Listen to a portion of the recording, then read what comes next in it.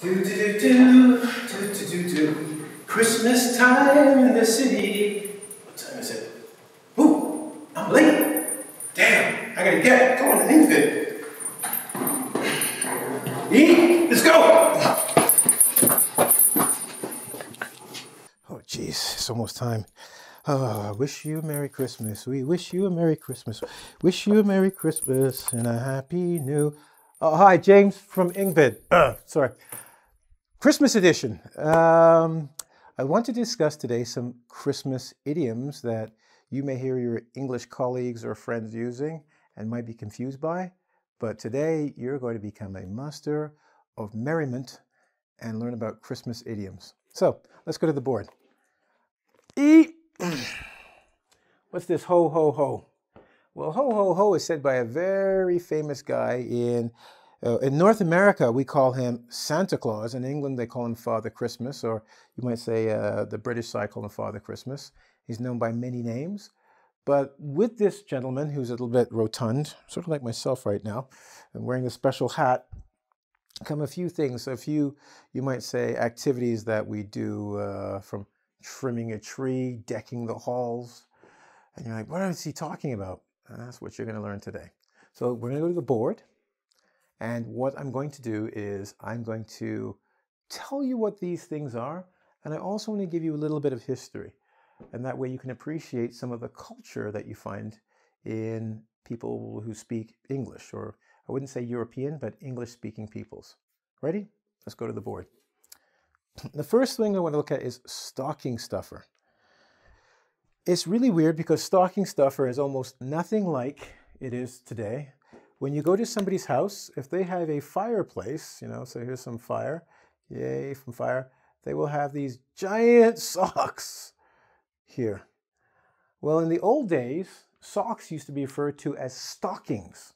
Not socks, but stockings, because you would put them on your feet and you would pull them. Oh, there we go. Yeah, like that, all the way up. See? Now I'm European gentleman. Ah, European gentleman. Socks up here. Okay, so I'm getting too old for this. Okay, so so they had stockings, not socks. Now, stocking stuffer is a little present. For instance, if my watch is coming here, if I got a, something this small and I put it inside the stocking, it's very small. Usually stocking stuffers are not big and not expensive. But there is an interesting story that goes with the stocking stuffer. A long time ago in Germany, where this originates from, uh, Germany, there's a story about three young girls, or an older, a man who had three daughters. And he really wanted his daughters to marry and be happy, but he had no money to give them to help them get married. So he prayed and he prayed, and Santa Claus, remember the guy I said? Ho, ho, ho, ho. I really should draw a picture of him, but I'm sure there'll be a picture of him right there. Okay? Santa Claus overheard this man talking about, I cannot um, get someone for my daughters um, to marry them. So, what I want to do, I don't know what I'm going to do. And Santa Claus knew that this man did not accept charity. In other words, this man would not take anything for free. He always wanted to work for it. So he decided instead of giving presents like he normally did, he was going to throw three bags of gold down the chimney one night so the man could receive them and each bag would be for the daughters. The daughters were unaware of this and they were wearing their, remember we talked about stockings, these things? Oh, one second. Uh, stockings, okay. Um, they put their stockings to dry at night by the fireplace because they had washed them. So, of course, when they woke up in the morning, their stockings, the three of them, were filled with gold. Ah, and that's why you find a lot of times when people have stockings, they get chocolate coins that are covered in gold inside their stockings. Yeah, see? Cool. Now you're like, I know some things. You do. All right. So the first one I talked about is the stocking stuffer. Little presents that go inside the stockings that used to be on fireplaces, but maybe if it's not by a fireplace now, you'll find them on the wall or by people's stairs, and they'll have their names on it, and people will put chocolate inside of it, or markers or pens or something small that somebody might have fun with, but not expensive. The second one I want to talk about is to trim the tree. If you ask any North American about trimming the tree, or English person for that matter, they will tell you trimming the tree is putting, as you can see, I have some balls up here, and this would be called tinsel. They would say putting balls and tinsel on the tree to make it look very nice. Extra stuff that goes on the tree. And they're correct. Or are they? Okay, so where did this come from? Trimming the tree came from actually sailors, nautical sailors a long time ago, and it was to be trim and in fighting shape, which means to get rid of the fat, not be fat, but be slim and muscular in fighting shape, to be trim, to cut. I know you're very smart and you're saying to me, how does trim a tree, a sailor, have anything to do with each other? I'm getting there. A long time ago, most people didn't have artificial trees. In fact, when I was a child, most of the trees that I knew were real. People would go out and actually cut down a tree and put it inside their house. Yes, you heard me right, you new people, you new kids. No artificial trees. We'd actually go outside, cut it, pick it up, carry it into the house, put it in. And really far back, they actually used to put candles, yes. They used to put fire in the tree in the house. Hey, I don't know how humanity has made it this long, but uh, you know, whatever. So, trimming the tree was when you had the tree, sometimes there would be an extra branch sticking out that could poke you or hurt you. So, you would cut this off to make the tree perfect to put in your house. Trim, because trim is actually a verb to means to cut off excess or extra. I'll give you another little thing that you're going to like a lot as well. Sometimes you'll hear people say, I want a turkey dinner with all the trimmings. No, they're not asking for the pieces of the tree that fell down. Absolutely not. It's the extra. So when you get turkey dinner, you get turkey and then you get potatoes. Okay, that's like a normal meal and maybe some carrots. With the trimmings, you're going to get cranberry sauce, gravy, stuffing, and some other stuff that people like to eat that I think is disgusting, but whatever, I don't know, I don't even ask it. But all the trimming means all the extra. In fact, people even say outside, they'll go, I want all the trimmings. It means all the extra. Because, and here's one for you getting haircuts. When you get a haircut and you say, I just want to trim, they're only going to cut a little bit of hair. Trim the extra, not a lot. Cool? Not only did you learn an idiom, you've learned about verbs. All right, so let's go from there. So trim the tree means to decorate the tree. But before that, it meant to cut the tree properly so you could decorate the tree. Okay, next, the holiday spirit. You heard me singing before, like, we wish you a Merry Christmas. Da, da, da, da, da, da, da. It means to be in a good mood, right? Like, I'm in the holiday spirit. You saw me with my hat, right? So me draw the tree. He's festive. We're all happy. Festive means to be happy, joyful. Festivities. Holiday spirit. That's what most people think. Actually, once again, it was actually based on religion. You see, a lot of our holidays are religious holidays that we celebrate today. So Christmas is around the, the birth of Christ. So a lot of people are saying get into the holiday, the holiday spirit. What they meant before was church, going to church, being with the body of the people, celebrating together as a family, as a unit. But now we've modified it because as we move on in time and sometimes separate religion from our festivities or holidays, it's to be in a good mood. Get the feeling of the of the holiday. So Christmas is supposed to be happy and everybody's together in this community. And that's the holiday spirit. Christmas came early. First, I'm going to explain it to you, and then I'm going to explain it to you. When you say Christmas came early, it means you got unexpected good luck or a gift earlier than expected. So, unexpected good luck, you did not expect it at all, or something came earlier than you expected, like my Amazon shipments. I love it. You order a book, they say August 20th, it comes August 15th. I'm so happy. Christmas came early. Now, the legend of Christmas came early is from New Mexico in the United States of America, where what they would do, they would mix. Okay, you have to understand that Christmas colors are red and green. Okay, so the, the legend has it that they would mix for their breakfast burrito, because it had to be in the morning. Okay, so you have your breakfast burrito, which is like, I don't know what if it's got eggs and whatever, but you have to have a red chili that's hot and a green chili that's hot. Okay, so imagine this.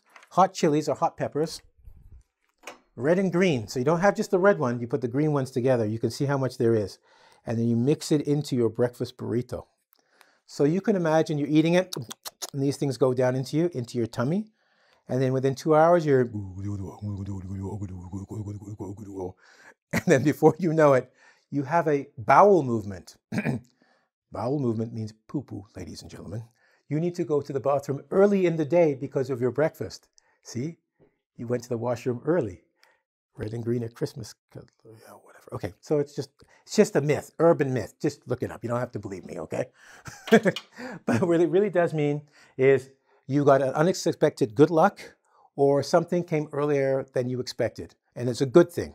Okay, like a present is given to you. now let's go over here. I know this one's here. Just wait. Okay, I'll be there in on in a second. Beat the holiday blues. Holidays are supposed to be, actually, that's kind of funny because holiday comes from holy day, in case you didn't know that. Holy day in religion, and that's what I was talking about over here. Holy days are religious, but just in case, we'll just come back to it later. But beat the holiday blues. The funny thing about holidays is they're supposed to be fun times. You, um, you have friends and family together. There are parties. Uh, I know most, most people in December. December stops about December 15th in most English-speaking countries, also other European countries, but I'm, this is an English lesson, so I'm sticking with that. Around December 15th, things shut down. And I mean because there are a lot of office parties, people come together to socialize, to celebrate the Christmas season. And everybody's happy. They'll buy a little chocolate for each other. They'll say, how are you? And you're supposed to be happy. Yeah. Well, unfortunately, for some people, this causes a lot of stress because in having this happy season, there are expectations, presents. If you don't have enough money, it's very difficult to buy presents, especially for family members. You can't let them down. Going to many parties and having to be on all the time when maybe you just don't feel like it. There's a lot of pressure to be happy, even if you're not. So beating the holiday blues is to feel good even though there's a lot of pressure on you. That's the first holiday blues. You know what the second holiday blues is? After the holidays. Let's say you're one of the people who had a great time. You danced a lot, got good presents, had a fantastic time. Holidays are over, you had two weeks vacation or a week's vacation, and then you go back to work and it's Monday, January the 2nd. And you're thinking, oh my God, I have another 12 months of this to go through. And to beat those holiday blues is the second type of it where you have to go, oh, okay, I got to get over the fact I had one week of fun parties, presents, laughing, and joy, and now I'm stuck at work for a year. Okay? Two types of holiday blues people will talk about. The second one is actually from psychologists. Who knew? Good things come in little packages. Any woman who's ever got a, uh, an engagement ring knows this is true. What this means is that don't judge the value of something by the size of it. Most of you came from your mummy's tummies and you were babies. You were tiny, and your mom will say, I love you more than anything else, and you have grown. But you started from a tiny or a small package. Sometimes you'll hear good things come in small packages, or sometimes you'll hear good things come in little packages. It means the same thing. Don't judge what something is by the size of it. The value isn't determined by size, it's by its actual value. And as I said, an engagement ring is small, comes in a small box, but it makes somebody very happy for 10 to 20, or I should say the rest of their life, it could be 20 years only, but whatever. Oh, I forgot one. I really want to put this up there, so I'm going to in a second. The more, the merrier. If you're in England, it's called Happy Christmas. So some of you watching from England go, James, you're wrong. It's not Merry Christmas. I don't know who told you that. Who told me that is the other side of the Atlantic. In North America, we refer to it as Merry Christmas. In England, they refer to it as a Happy Christmas. Even though they have merry-go-rounds, and merry is a word that means merriment in England, and over here we say happy for everything. I'm confused. Anyway, back to the fact that merry over here we go Merry Christmas. In English, they say Happy Christmas. Merry means happy. So when you say the more the merrier, what you're saying is the more people joining our party, the more people being with us or coming with us, will actually make everything more fun.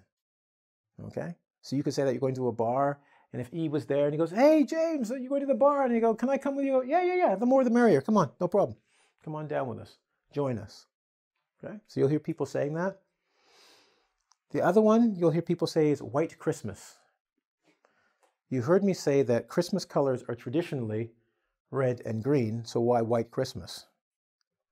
Well, in the year 2019, or I should actually from the year 2000s up, Christmas has not been as white as it used to be. I'm dreaming of a white Christmas meant snow. We always wanted snow on Christmas Day to come down and it looked beautiful.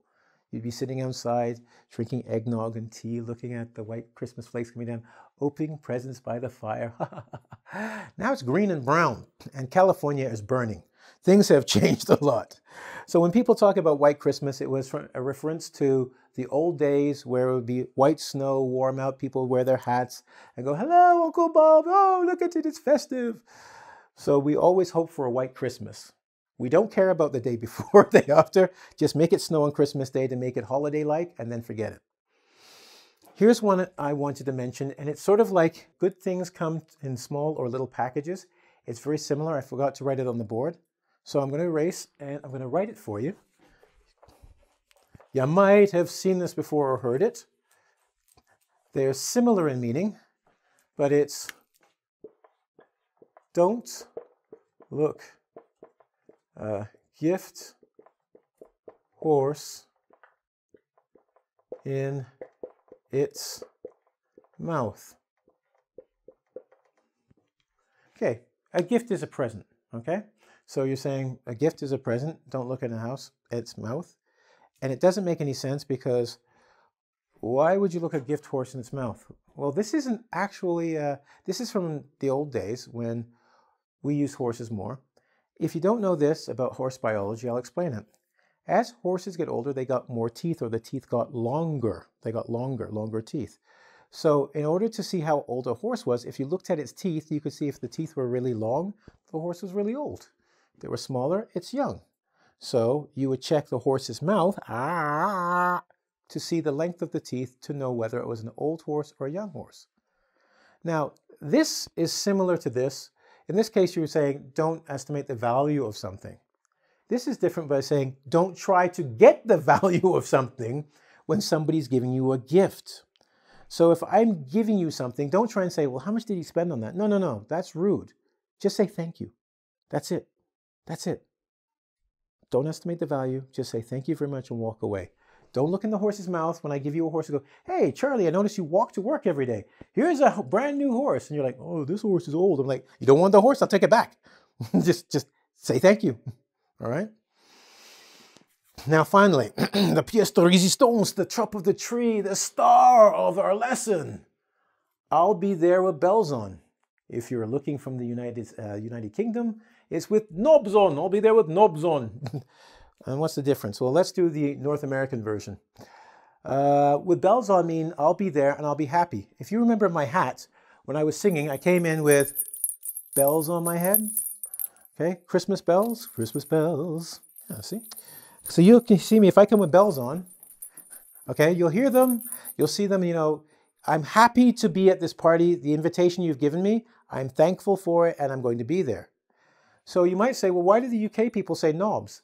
Well, it means actually additional adornment. Adornment means something extra you're wearing. If you're adorned with something, you're wearing something extra.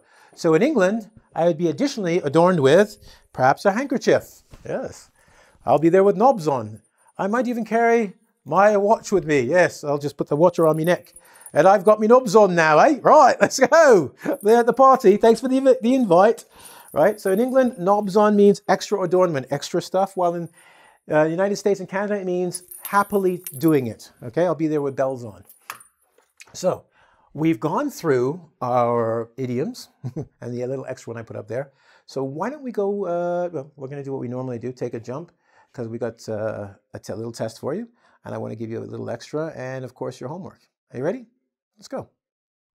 Jingle bells, jingle bells, let's go to the board. All right, time to do a test. We did several idioms, and I want to see how well you understood them, or if you, at least you enjoyed my stories, how well you can answer my Christmas quiz. And the present from doing this is knowledge. Let's look at a little uh, speech that we got here. Mr. E is talking to James. This will be myself. E's gone for now, but you know who he is. And we're talking about a Christmas party that's coming up. Bum ba bum bum bum. So E says, Hey James, do you want to help something this year? And I respond, Sure, that sounds like fun. You really are in the something, Mr. E. And he just says, Hey, did you see that small package that Natalia put in your something by the fireplace? And I went, Yeah, it can't be very much. It was very small. And then E says to me, Hey, don't, because a lot of times, da da da da da. And then he said, Hey, don't be late for the party. And I said, Hey, I'll be there, da da da. so we've got a lot of spaces and we want to fill out some ideas. So the first thing was, Do you want to help something this year? Now, I couldn't give you too much of a hint, but I'm going to help you here, okay? So at least you can start figuring out what idiom would it be. Hey, James, do you want to help something the tree this year? What is it going to be? That's right. Remember we talked about trimming the tree? Trim the tree, trim your hair, putting the extras, making sure the tree fits. Okay, so we want to trim the tree this year. Second one, sure, that sounds like fun. You were, really are in the, what is another way of saying a good mood or really enjoying the season?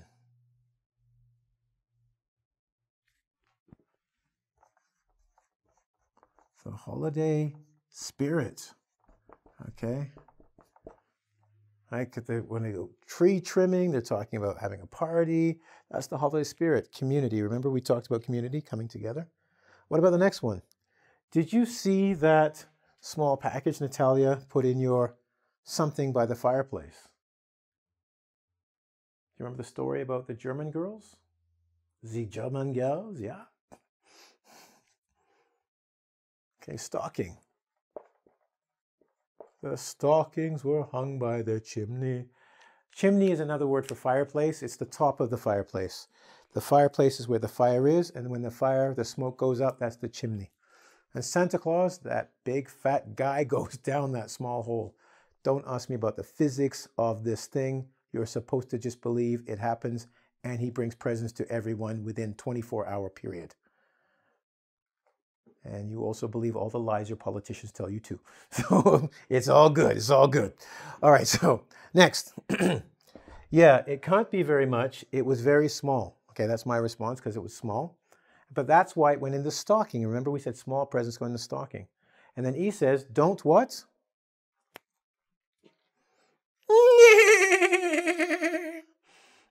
that's the only hint I can give you. All right, don't Look a gift horse in its mouth. Right? Don't look a gift horse, in its mouth. Remember the gift horse? Because you're looking at the teeth to see value? Don't do that. And remember, that's right. Big or good things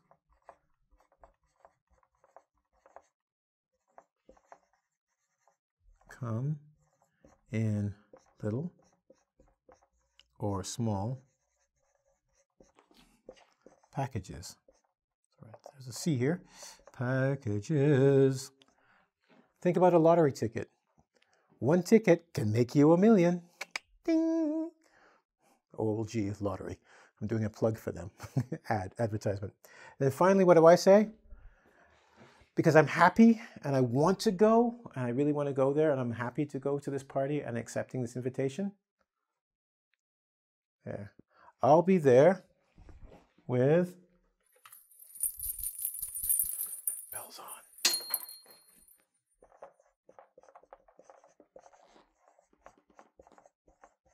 Cool. Not bad. You did well in your Christmas quiz. That means you don't get a lump of coal in your stocking you'll get those gold chocolate coins. Lucky you. Now let's do our extra. Uh, so what I want to talk about is the non-holiday use of some of these idioms. This is a Christmas video, and you're probably watching it around Christmas time, maybe not. It could be summer wherever you are. Um, but some of these idioms don't have to be used just at Christmas time, funny enough. Now, white Christmas, of course, you can't really use it for anything but Christmas. But let's take a look at the board. When you say Christmas came early, you can use that for any time you get an unexpected gift or good luck. So it could be in uh, June, and uh, I'm you know applying for a job, uh, you know whatever job, and then all of a sudden the the guy who owns Apple company comes and goes, "Hey, I want to give you a job because you're the best." I'm like, "Wow, Christmas came early." That was completely unexpected. It has nothing to do with Christmas, but it means I've gotten a gift earlier than I anticipated or expected, or it's completely unexpected.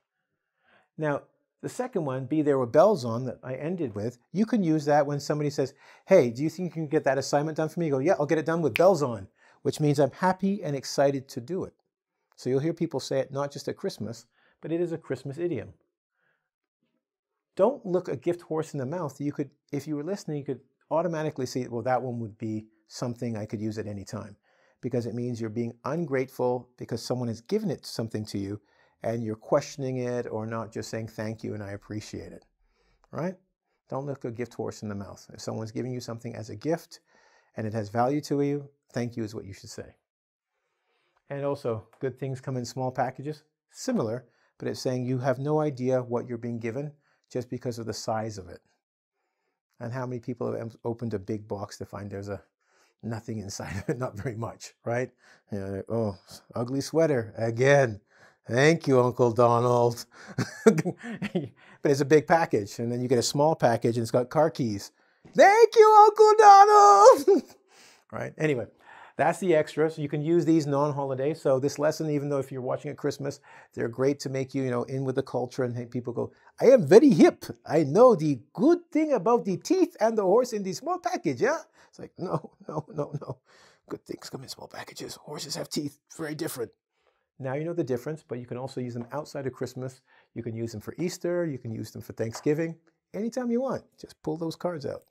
Now, before I go, I'm going to say what your homework is. If this is the Christmas season, you need to go to a party and enjoy yourself. What? Yeah.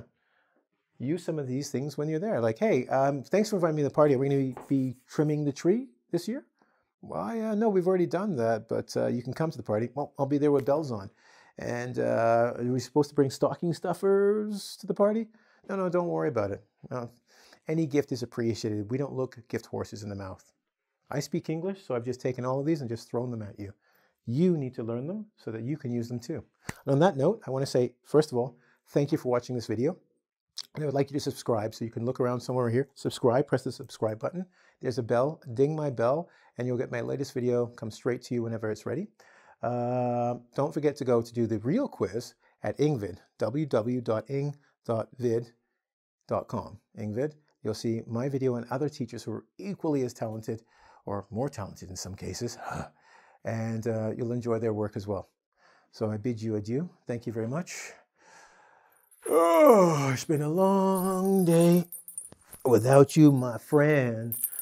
I'll tell you all about it when I see you again. Been a long day uh, where we began. I'll tell you all about it.